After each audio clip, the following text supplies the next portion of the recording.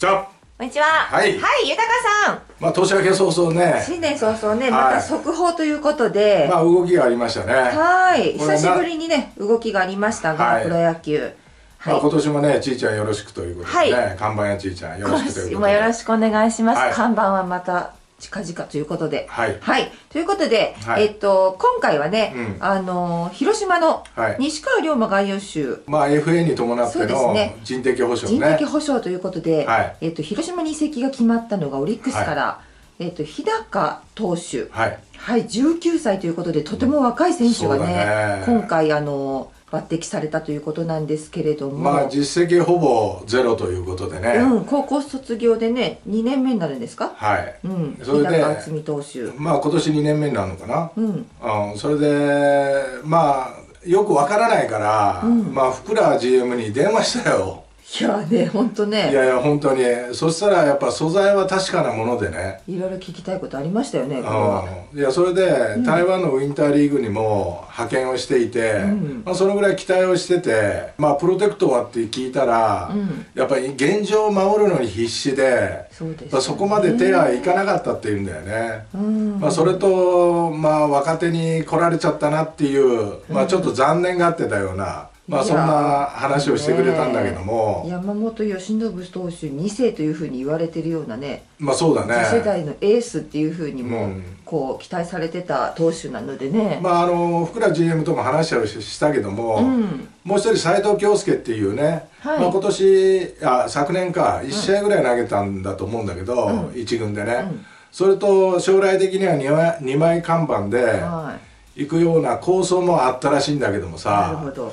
まあ、まさかこのね日高に来るとはっていうふうに思ってたけども、うん。あのまあとにかくなんていうのかな。まあオリックスの今の現状のメンバーを守らなきゃいけないんで、うんうんうん。なかなかそこまでプロテクトできるっていうことがね、うん。まあ不可能だったって言うんだよね、ねえ。だからちょっと残念だなっていうふうに言ってたけどもまあ日高には福良 GM は本当に頑張ってほしいなっていうふうには言ってました。うん、はい。ね。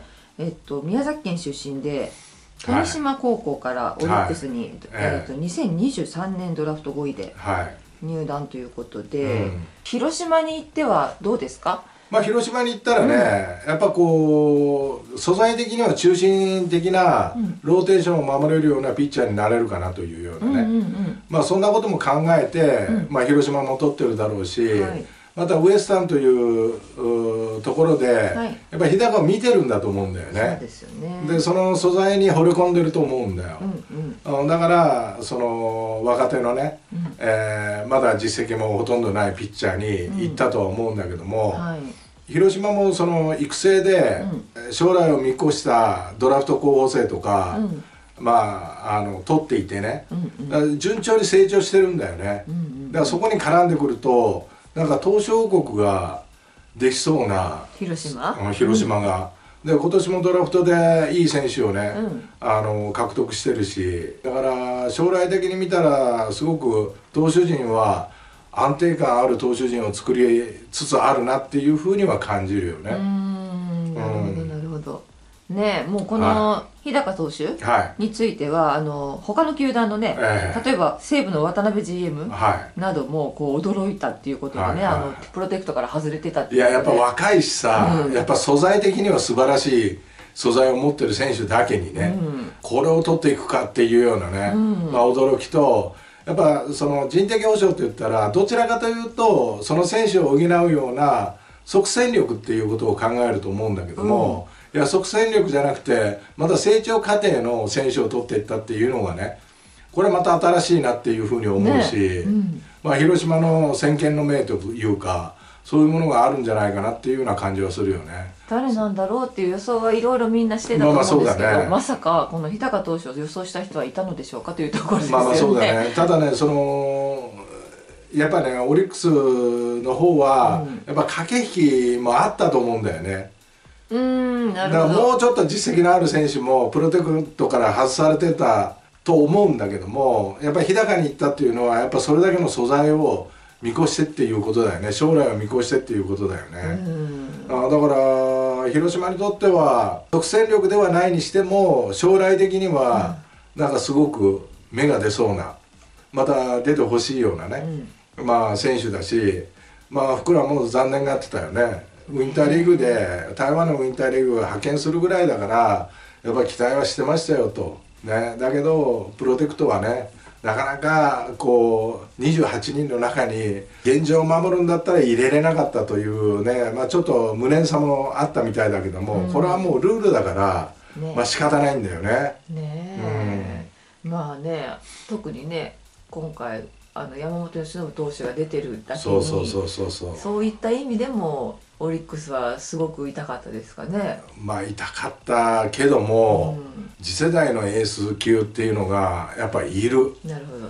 やっぱ山下新平太のこと聞いたら、うん、山下新平太はもっと体がでかくなってるしもうトレーニングものすごい積み上げてるというようなこともねまあちょっと電話の途中で話をしたんだけども やっぱねやっぱ素材はいるんだよ。ねだから逆にまあ他球団から見たらすごく欲しいような選手でも出てこれないという。なるほどね、まあ、だけど日高にとってはね、まあ、そういうところから、まあ、広島も選手層がだんだん厚くなってきて、うん、でピッチャーの層も厚くなってきてるけども、うんうん、いやオリックスよりはチャンスがあるよね。確かにね。そういう意味ではね、ね、あのそういう意味ではオリックスのそうそうたる面々の中で勝ち抜いていかなきゃいけないのと、うん、ね、先発ローテーションに入るっていうのはね、うん、すごく大変なことだと思うので、ね、いやだからね期待されて、うん、この若手を取ったわけだから広島は、ね、やっぱりそれなりのものはね確かなものが絶対あるはずだから、まあ頑張らなきゃいけないしね、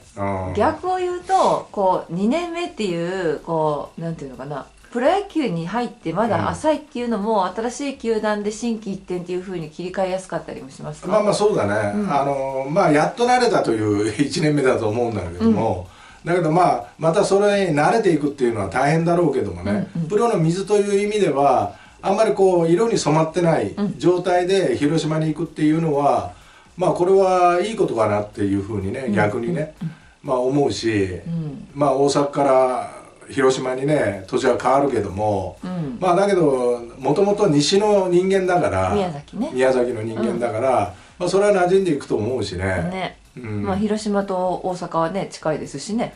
まあ近いしね、うん。ね、でこれから活躍して、まあ、仮によ FA 取ったとしたら、うん、まあ、オリックスに移籍するっていうね可能性だってあるしね。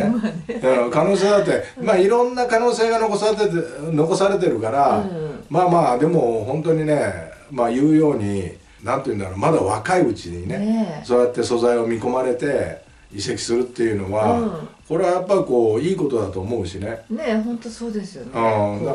白羽の矢が立ったという、ね、いやそうそうそう。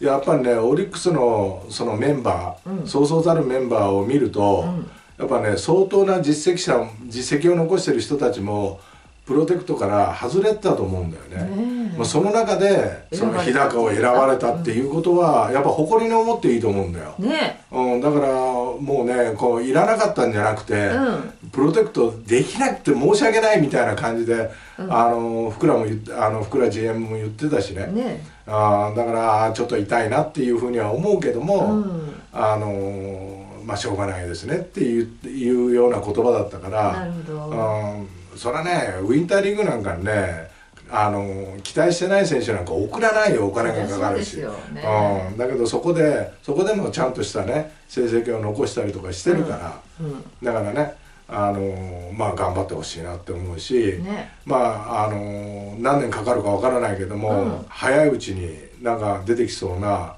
感じもするよね。ねえ、うん、まあ本人もとっても驚いたとは思うんですけどまあまあそりゃそうだね。ね。だけどまあこれはねプラスのいいことということに捉えて、うん、そうだね。ね早くこう登板してる姿見たいですよね、うん、だからいい見本がいたよね。山本由伸とか宮城とか、若手にとっては山下新平太とか、うんうん、そういう人がガンガンガンガントレーニングをしてると。ね、そういうことも日高は見てただろうし、はい、だからそういったいいものをね、うん、若いけどもあの広島に注入できるとすると、うん、ね、いやオリックスの投手陣はこうやってましたよみたいなことがあるとね、うん、また広島の投手陣も変わってくるかもわからないし、ね、うん、まあ5 に入ればあの5に従えって言うけどもね。だけどまあ1年間オリックスで学んだものをね、まあ生かして、まあ、頑張ってほしいなというふうに思います。はい、はい。ということでね、うん。あの広島のはい西川選手の人的保障は、はい。日高投手ということではい。はい、ね。なりまあした。の注目しておりますのでね頑張ってください。はい。はい